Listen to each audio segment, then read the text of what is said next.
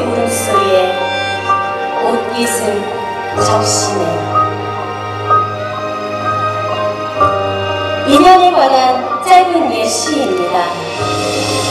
여러분들에게 인연이란 무엇인가요?